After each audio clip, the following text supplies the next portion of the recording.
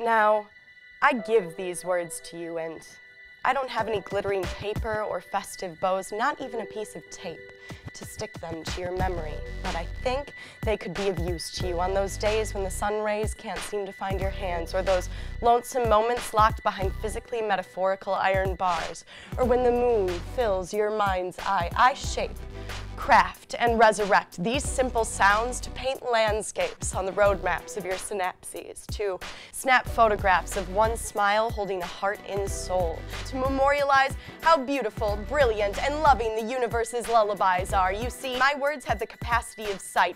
They forge futures and past. They tug flags to the top of mass that say, I'm here, inside me, and I can use these syllabic tools to build for you a democracy of sparrows holding a conference on a cliff where they use metaphors to determine the finalities of what ifs. Or I can make a makeshift go kart out of spit and elbow grease that runs on a smile and has the honk of geese that can take you and me to the crease of the smiling heaven's eye. But right now, I need some wordsmithery to pinpoint exactly what you mean to me because words like love and beauty aren't the half of it.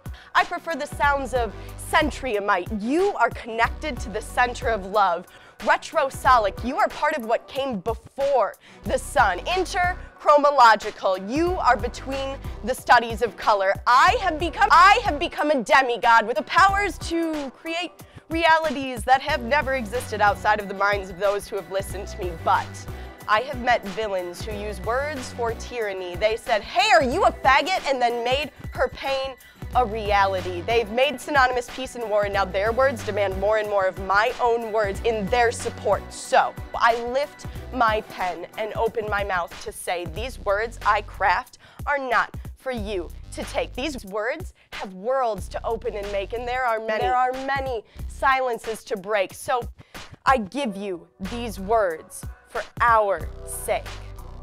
So please, return a few. Maybe Maybe something like, maybe something like, I love you.